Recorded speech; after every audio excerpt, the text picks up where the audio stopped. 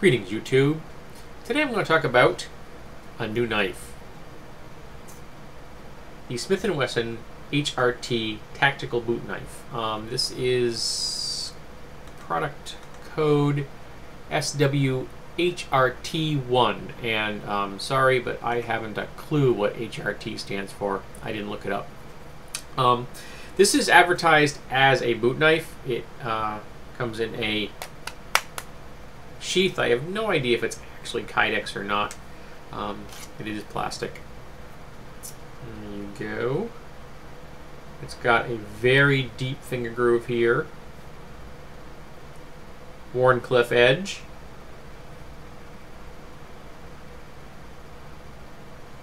Pretty decent sized scales. And as again, it's a fairly thick blade. Let me give you some physical stats on it. Uh, overall length is 8 inches. Um, blade length from the uh, grip to the tip, from the scale to the tip, is 3.95 inches. Actual cutting edge is 3.35. I give the actual distance from the scale to the tip because sometimes law enforcement will count that as the actual blade length. So it's kind of good to know. Um, blade thickness is 0.2 inches on the nose. Uh, the overall weight of the blade is 7.4 ounces. That's knife and sheath. Just the knife alone is 6.2 ounces. You're thinking to yourself, 6.2 ounces, that's a fairly hefty blade, and you would be correct. This is a big, beefy knife. In fact, I would go so far as to say is that I consider this to be somewhat of a failure of a boot knife. It's just too big and heavy in my mind. They should have made this thing a whole lot thinner. Instead of being two tenths of an inch, it should have been 125, maybe 150. The scale should have been half as thick as they are here, and you would have saved a whole lot of weight. Now, as an overall knife, however, this has a really wonderful hand feel. I mean, this thing just fits into your hand so well. It's just very comfortable. It fills your palm up nicely without being too large. My hands aren't too very aren't very big, and it fits my hand very well. Um, you can also do a, a, grip like this. If you want to do some precise cutting like this, and you're very comfortable, and with your finger locked in this very deep groove, you're not going anywhere.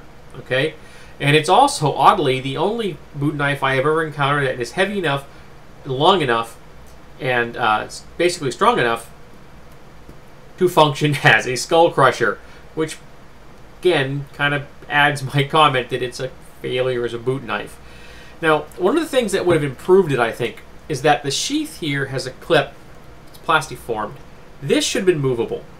Because I normally, when I carry a boot knife, and I actually wore a boot knife for years, two or three years of my life, I wore a boot knife every single day.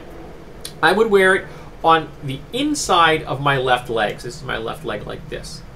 But I can't do that with this. I have to wear it like this on the inside of my left leg, which means if I try to draw it, the blade edge is going to be facing that way, and that's just a really odd position to have it in.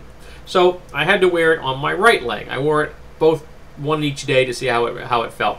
So I'm wearing it on my right foot. So here's my boot.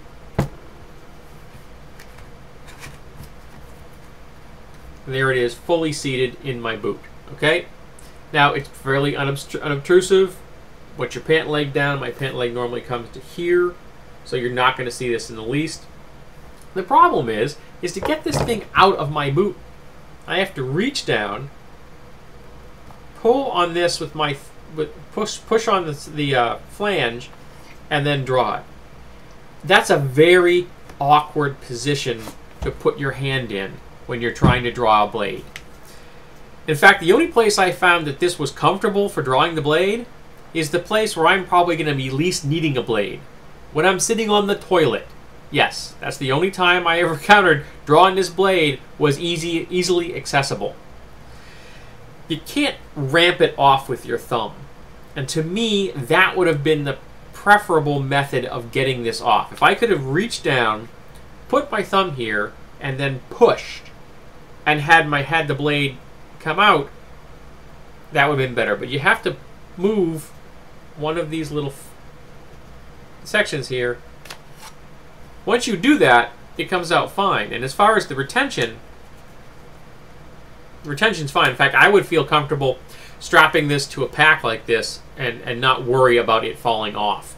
And the sheath is got a uh, the hook on here is strong enough that you could put this on uh, a strap like that, and I think you would not want to be overly concerned about it. You might want to put something like a zip tie or something on there if you were concerned about it coming off. But it's got some nice retention. It has goes in and out quietly. Um, I think it's a really well-made blade. It's got a nice grind. Uh, you can't really probably tell in this, but if you look, I mean, the grind is nice and even. The cutting edge is decent. And obviously, being a Wharncliffe, it's not going to be great for a lot of cutting tasks. For like, I, I used it this morning to cut some dried apples just to see how well it cut. And you can do that, but I was only able to cut it successfully because I had it on a cutting board, which let, let my fingers have a place to go. Because on a flat edge like that, it's hard. Okay, I just happen to really like the aesthetic of, of, of a Wharncliffe blade.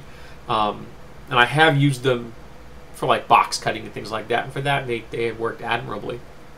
Um, but I discovered while wearing this for the past couple of days why I don't wear them any longer. That carrying a boot knife is really obvious when you go to take it out. There is no subtle way to get a boot knife out of your boot. I normally carry this Spyderco Tenacious. Okay? I can have it out of my pocket, open, cut the job I want to cut, and back in my pocket before most people are even aware they have been in the presence of a knife. Because a lot of people get freaked out by blades.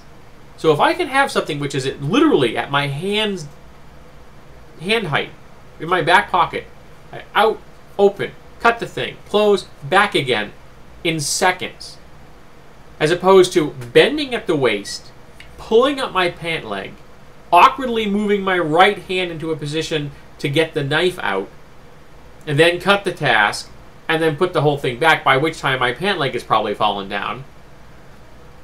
That is not what I'm looking for. So, I don't see the utility of this. I could see this if you wanted to carry a knife for the express purpose of getting into trouble. And if you're carrying a blade for the purpose of getting into trouble, I don't want to hang around you. I don't see this as a self-defense weapon. I don't see it as a utility device. I'm failing to see it its, its useful, usefulness to a person that buys it as a boot knife. Now, as a backup knife, or like I said, you want to carry it on a pack, you want to carry it maybe in your back pocket or on a belt, as you know, you're comfortable carrying a fixed blade knife out in the open because they're they're for example they're legal in my state to carry. I could carry this on my belt. I just think it would be getting caught on stuff and it's much more obvious. I don't necessarily need to have people know, hey, he's got a knife sticking out of his belt. It makes people nervous. This hanging like this in my pocket, so all you see is that much sticking out, is much less gonna cause people to get upset. And sometimes subtlety is good. So I don't regret buying it. I picked it up for 20 bucks off of Amazon. Um, I bought it because I needed to bump up the cost of something I ordered for my wife so I could get free shipping. And uh, they sent it to me early. The item that I bought for my wife is not actually shipping until January. Uh, but it's a nice knife. Uh, I, it feels good. I'm glad I own it. Um, I, I'm definitely I've been playing with it for like the last four or five days. Um, and uh, it's a nice blade. I just I just don't quite grasp why I ever carried a boot knife, and this particular boot knife to me fails to meet that criteria of being easily accepted, accessible, and light, which is two things I think you really need. So maybe I'm just the wrong person to ask about the whole uh, boot knife thing. By the way, the way I didn't notice the extra weight in my uh, in my boot, but I also wear steel-toed boots for a living. So they're really bloody heavy. So the extra weight really wasn't noticeable by me. It may be different for you. You may notice six ounce, seven extra ounces uh, strapped to your leg. I didn't. Have a good one.